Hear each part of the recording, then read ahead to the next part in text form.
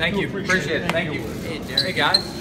Derek, you had mentioned how you'd been out on the scouting trail yourself, Yeah. seen some of these guys. How many times have you seen Royce Lewis? I, I saw Royce Lewis. I got a chance to meet Royce Lewis, spent some time, and we have just about every at bat on video that he's probably taken all spring. Uh, he played in some big showcase events last year during the course of the summer and otherwise. So uh, we have some pretty special evaluators in that room that really felt strongly about who he was as an athlete, as a kid, his makeup, uh, work habits. I think you guys are going to love him when you get a chance to meet him. How long have you known that Royce Lewis was the guy you're going to take?